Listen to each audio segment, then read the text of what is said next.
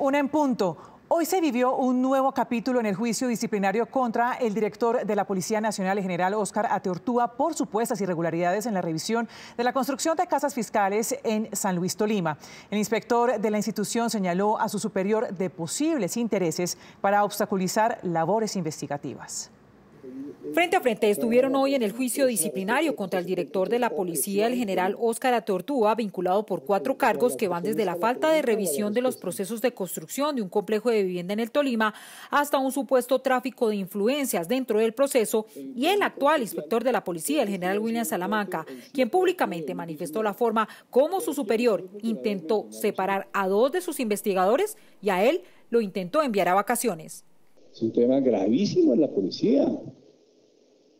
Él me dice, me cumple la orden, mi general. ¿Por qué su actitud? Entonces yo le digo, mi general, aparte de todo esto que estoy encontrando, estoy decepcionado de usted.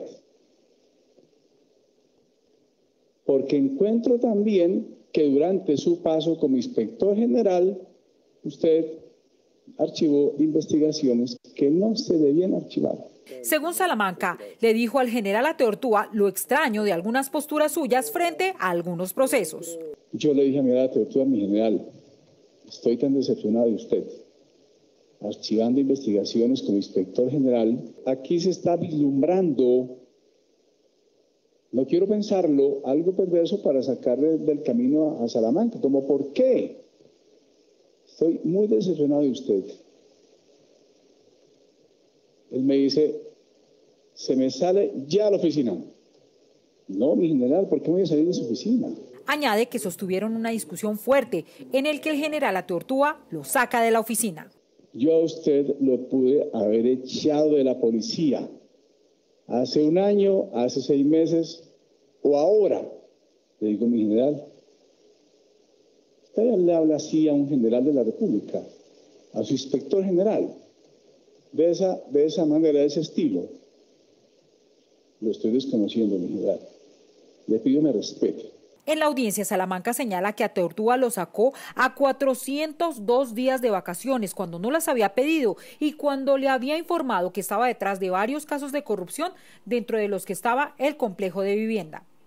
Se me va ya con vacaciones.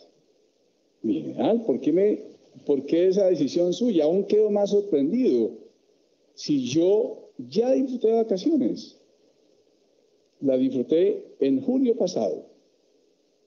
Y usted ahora me da la orden que yo salga con vacaciones, donde tengo, le acabo de mencionar que estoy adelantando investigaciones graves contra la corrupción de la policía, que hay una sociedad colombiana que exige que se luche contra la corrupción.